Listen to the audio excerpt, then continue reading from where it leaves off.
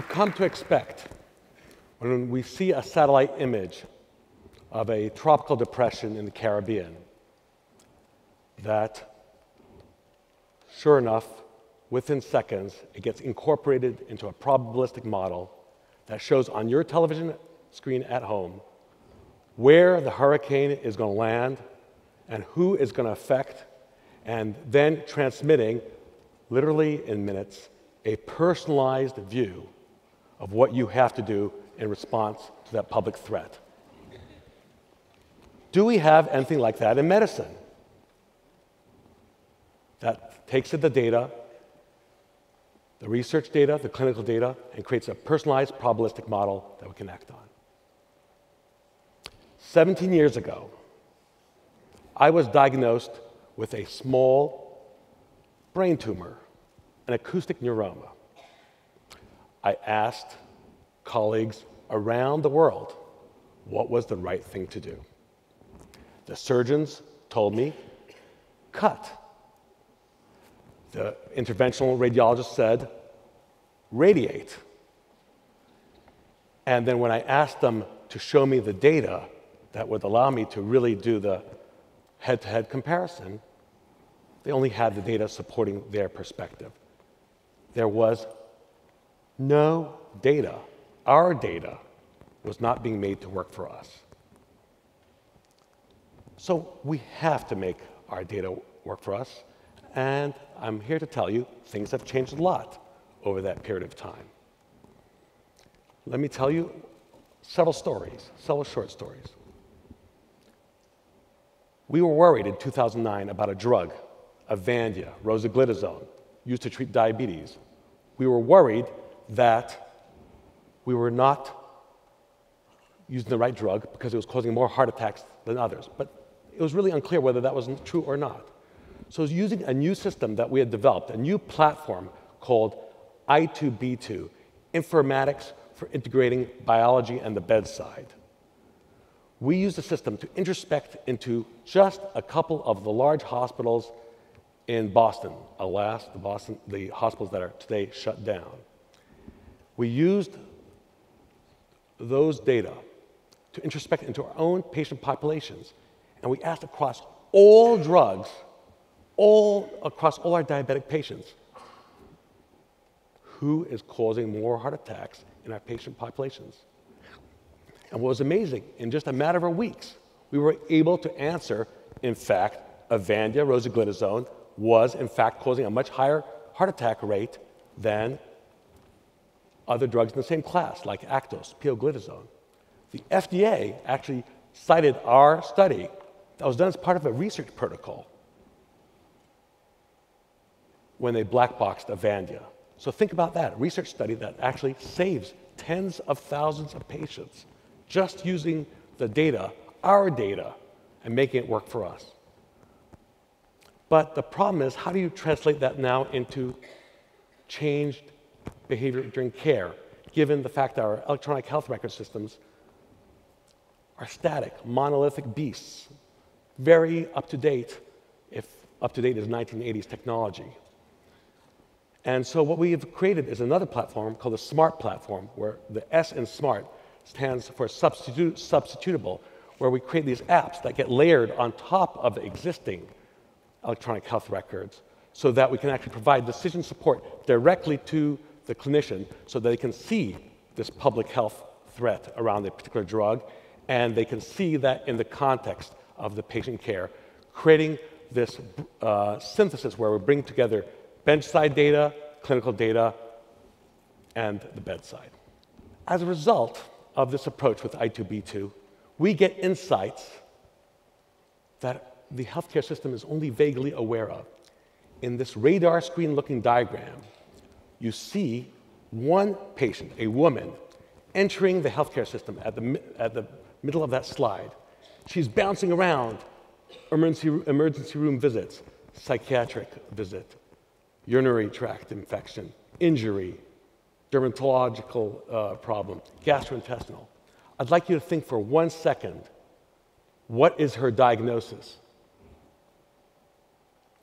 The answer is domestic abuse.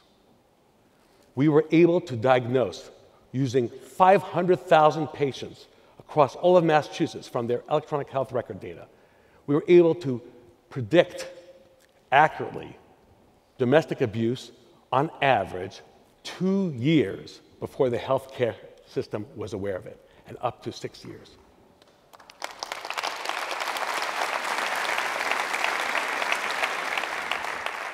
Now think, ask yourself the question, why are we not doing that now? Why are we not doing that ubiquitously? Because there are so many other such applications of the data that is staring us in the face if we only allowed our data to work for us. But things are changing. I2B2, smart, the platforms are being adopted. They're being adopted widely. And don't believe me, just go and ask the over 100 sites that have adopted I2B2 and Smart. And this is not, this free and open source software is free and open source, but it's free like a pony. You have to feed it, and you have to clean up after the poop. so they are making major investments to take our software because they understand, nationally and internationally, that they have to make our data work for us. It's also helping us accelerate the translation of genomics into clinical science. Shown here is a diagram of the risk, the genetic risk of rheumatoid arthritis. On x-axis, you see multiple dots corresponding to genetic variants, or SNPs. On the y-axis is the odds ratio, the risk of rheumatoid arthritis. The higher, the higher the risk. Shown with the blue dots are a previous study that took years and millions of dollars to find the risk for rheumatoid arthritis. We were able to re reproduce that study, shown with the red dots, using the computer to automatically read, using natural language processing, the clinical notes, to find the patients, to find the samples, to genotype, and then come up with very much the same risk. But the other studies that we reproduced had been focused on what? Caucasians. We were able to literally press a button and in a day get the same population except for those who are super underrepresented in genetic studies, namely underrepresented minorities, specifically African Americans and Hispanics. And we were able to show for those populations what was that genetic risk because we had that insight. Now, it's one thing to discover it, then how do we bring it back into the clinic? You will not be surprised, I think, to know that the greatest predictor of a doctor ordering a genetic test is the patient asking for the test. And so, in order to really make doctors adopt genomic uh, decision making, it has to be baked into the electronic health record. But guess what? None of the modern uh, vendors of electronic health records have genome wide decision support. They don't even have genetic data. So, again, using this smart platform, we've created a system that combines the clinical data, an app that combines the clinical data from the uh, underlying electronic health record and the SNP data coming in from 23andMe to give the doctor a view of the patient that's clinically integrated with the genetic risk. The future is now. We've not only created a large open source international community, We've actually created a network of collaborators who are providing software, adding on to it. But we've created a ability to issue queries, distributed queries, that allow you to share clinical data under the appropriate uh, security, much in the same way as the MP3 stealing, I mean sharing networks of old, except legal, legally and with appropriate protections. And so now, for example, we're able to look at autism, which we think mostly of as a behavioral disease, and ask what are the other biological aspects of autism. So from this network that covers thousands of patients with autism, we're able to define the sub diseases, the autisms that are composed.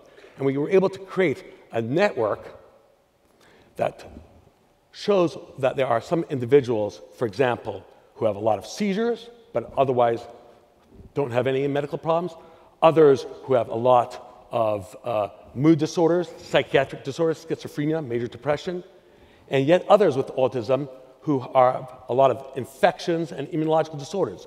These are subautisms that have biological correlates and that we're looking now at the genetic basis for that we would have not been aware of had we not made our data work for us. So, in our country, we must make our data work for, for us so that we can put a brain into our healthcare system.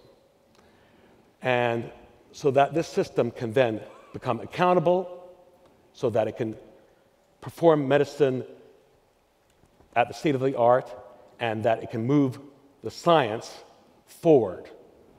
And the way we see that this has to be done first and foremost is by making our data work for us, bringing our research and our clinical care together, removing that artificial distinction, and using platforms such as I2B2 and SMART to actually um, enable that um, synthesis.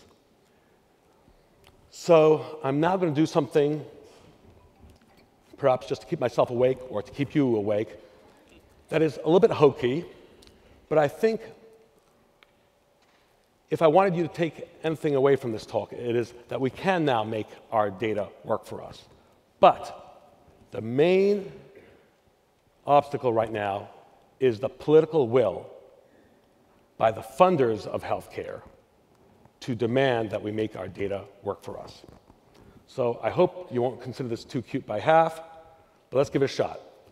So remember, I'm a little hard of hearing because of that uh, tumor. So what I'd like you to do is to, is to say with me the following as loud as you can so that the funders hear us. Make our data count for us. Thank you very much.